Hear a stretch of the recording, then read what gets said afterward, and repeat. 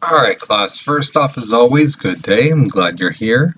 Uh, first off, let me start off by saying if you hear any like loud noises or uh, like sirens went off, it's uh, my neighbors over here are doing some construction work and then um, we got a you know fire um, department place over there and the, the sirens have been going off so uh, to just if it comes on I do apologize okay. Um, I'll try to get through that. Now, last class, uh, when we were actually in Zoom, we talked about the uh, Native Americans and the Aztecs, Toltecs, Mayans, Incas, things like that, those early civilizations. Then, what you should have done is looked at the uh, classwork, the second half. That was about primarily the um, the people coming over, Columbus and the Spaniards, things like that. And then we talked about the investments of the colonies that the English uh, people came over with. You know, the purpose was to make money. Now, that's going to be imperative for the next thing. Now, again, remember, please, guys, watch this video. Do not stop and pause and things like that, and then just, oh, I'll get to that later, you know, or, you know, just write down the notes, things. Um, because the thing is, it is important that you actually listen because there might be some extra information I give you, and I'll say this is more likely going to be on the test. And um, if you don't hear it, then and I ask a question, I want to hear you guys say, "Oh, you never said it." I did say it. You just decided to not listen to the video. Okay, so it's imperative that you do listen. Okay. So here's the rundown. Uh, the essential questions. Um, the objective today is we're going to be looking at the contribution of John Locke that he made in our country. So we're going to be looking at that. And in a sense, the similarities and differences uh, between the religious groups created by the Great Awakening and then, I, I don't know why I got cut off, but the, um, the, the Enlightenment people. You know, we're going to look at the similarities and differences between the two. Uh, so we are going to have a warm-up uh, picture you're having the lecture, the opinionated questions, um, and in class we will be having a poll um, session, okay, in our breakout room, okay.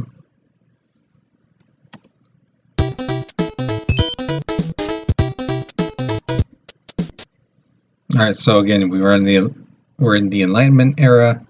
Uh, here's your warm-up picture.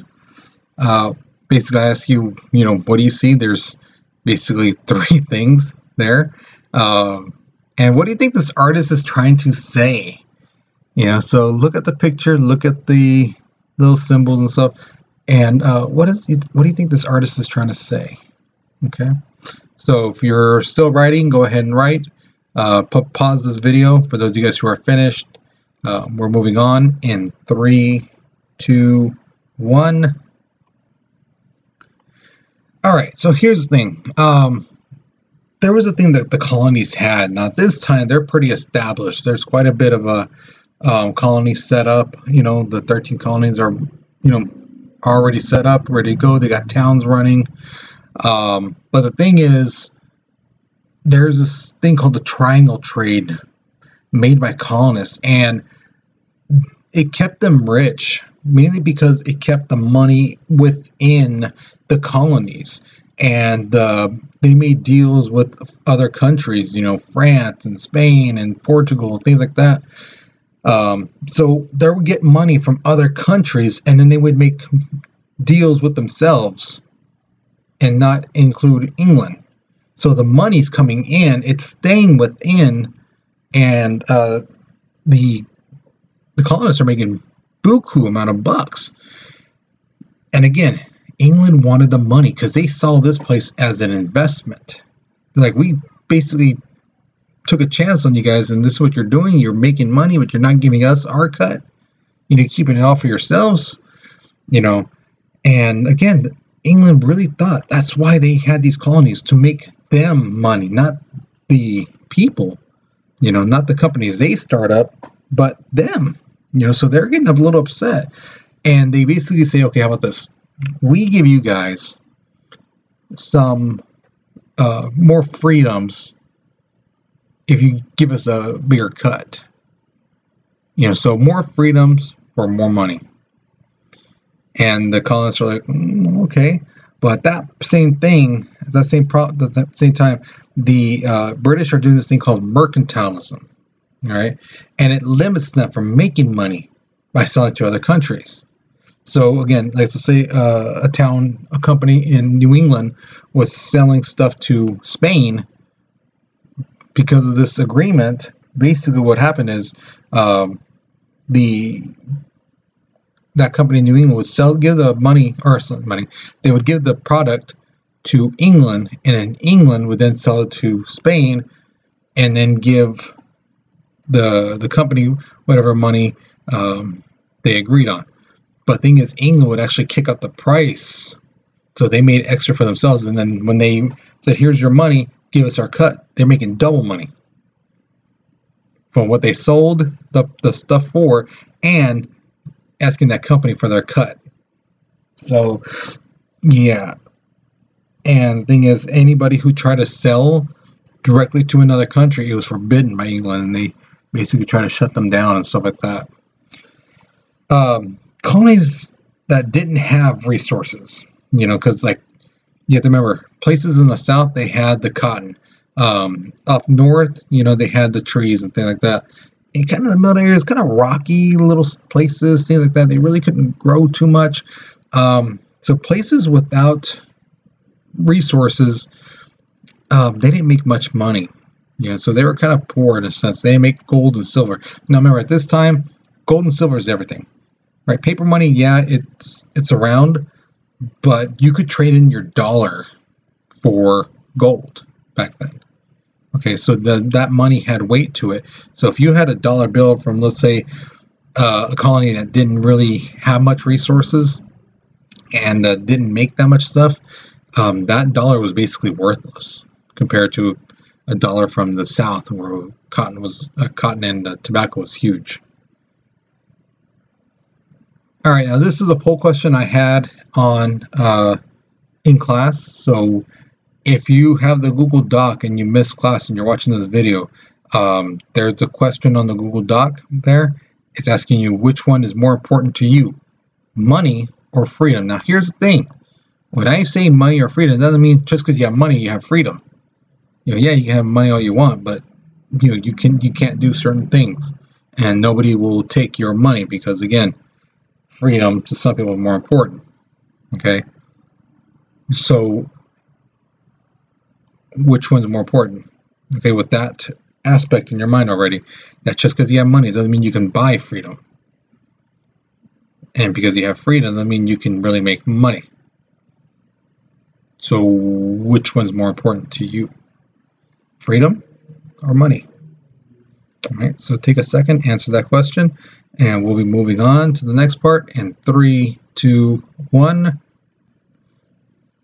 All right, now this guy right here in the picture, that's John Locke. It's not very flattering um, portrait of him, but that's the one everyone knows of him. He was a philosopher and a physician. Now, thing is, he didn't create the uh, uh, idea of social contract theory. That was Thomas Hobbes. But he basically kind of agreed for the most part, but he changed something at the very end. He goes, yeah, it's all good up until this part. All right. The social contract theory basically says that people are born free. Right? You're born, you have a freedom to do whatever you want. Okay. Um, Chess says you have the freedom to bash someone over the head because you want their PS5. Um, someone could do that to you, right? They have that. You have that freedom to do that to them. They have that freedom to do it to you. Uh, and basically, he says that we trade our God-given rights for security. You know, so okay, I'm going to give up my freedom to bash you over the head to take your stuff if I have the freedom to have my own stuff without being feared of being bashed across the head. Okay. Uh, it creates order in society, and that's where laws come in. And that's where, like, if someone does something, you get punished for it, right? That's what he's saying. That's what the social contract theory is. We all subscribe to it, we all believe in it. You know, so therefore, we are participants in it and we give up that freedom. It's a non verbal agreement. It's nothing written down as soon as you're born. They make you sign it and things like that. No, no, it's just part of our society and we agree to it. Okay. He stated that we are born with life, liberty, and property. We have those rights to those things.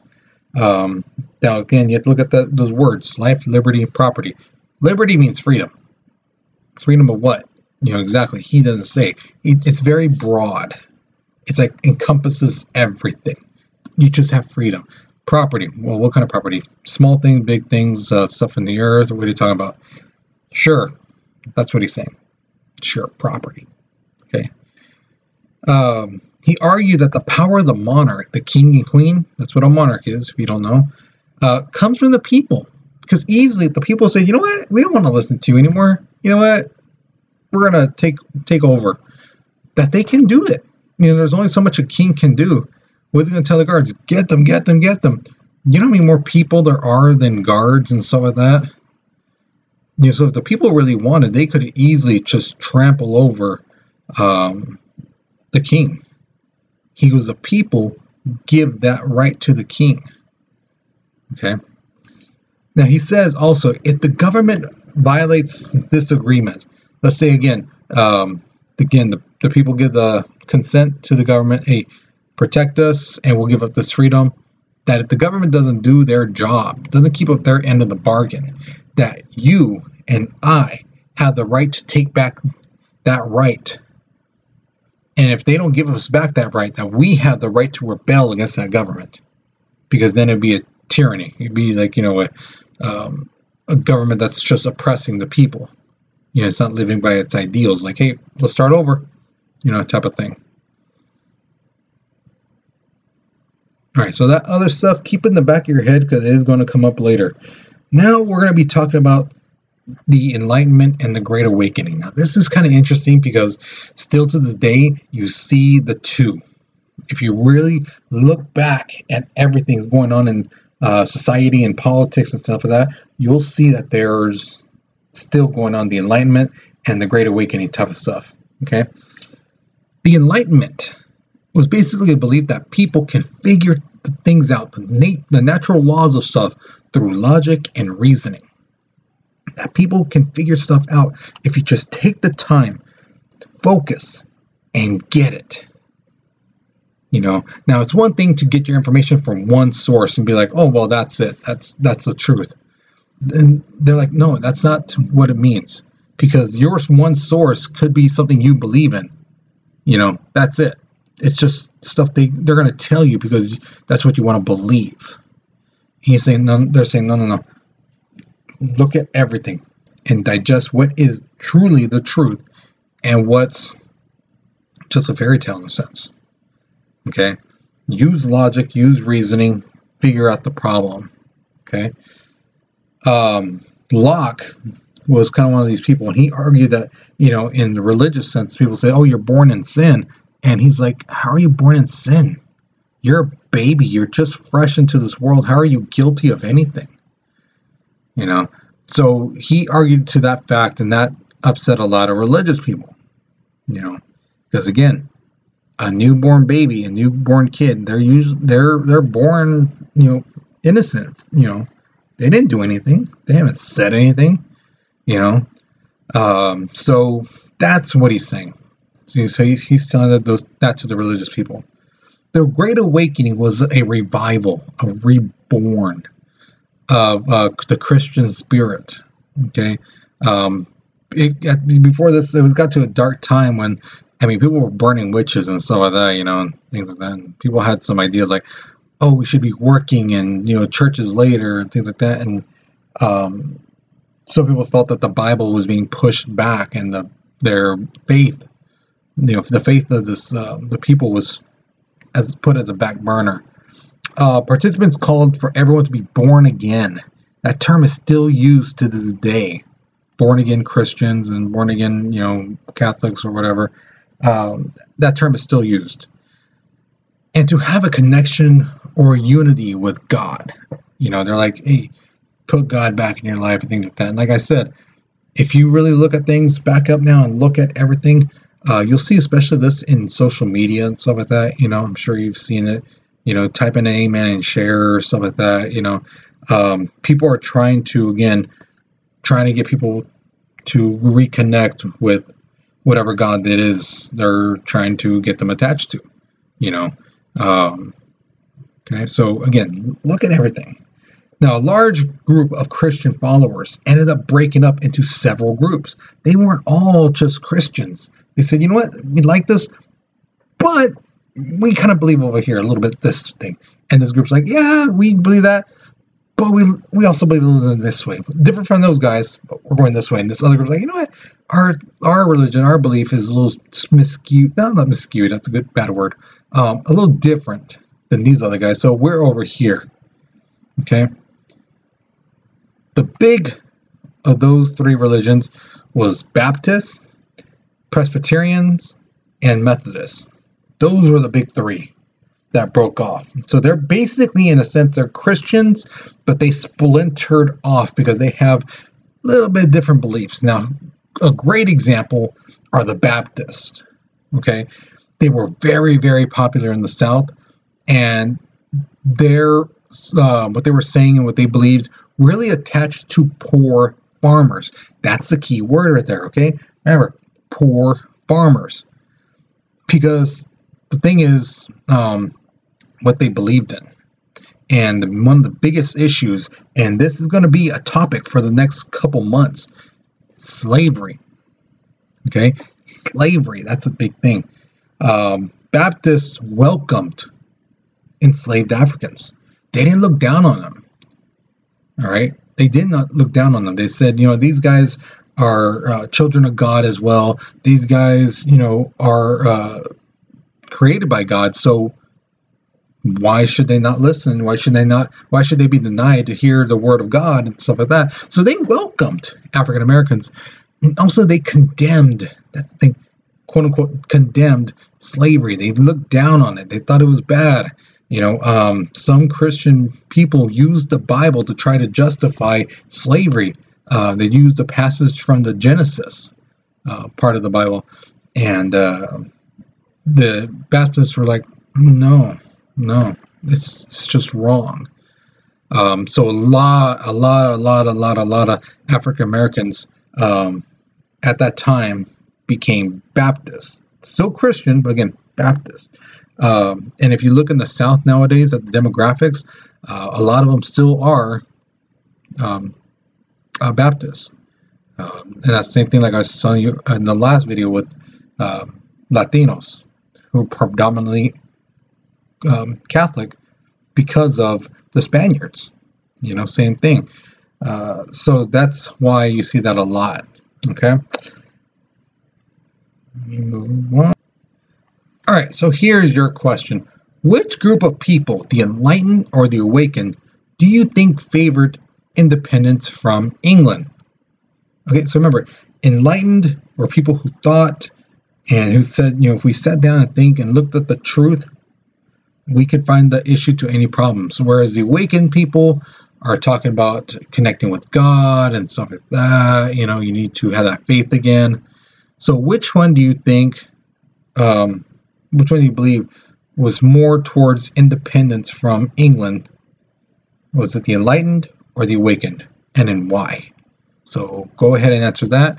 Um, I'm going to move on to the next thing. So pause the video. Moving on in three, two, one. All right, so now we're at the end of the class. So tell me something that you learned today, something new. What did you learn? today in class. Okay. Um, also, if you have any comments that you want to share, by all means, share them with me. Uh, there's something you liked or didn't like, something you didn't quite understand, things you feel I should have done better. Um, if you think I should put more pictures or, I mean, whatever, let me know. Okay. So go ahead, write that out. Once you're finished, um, that's it. You're done for the class. Be sure you put your name on that Google Doc. It's the first question up there. Um, and uh, once you're done, you're done. Okay. So you guys have a good day. Look for the second half of the work. It's going to be on the Google Doc soon. Um, so keep an eye on that. Uh, so, but yeah. So, right, have a good day. Please take care of yourself and your family, guys. Okay. Be safe.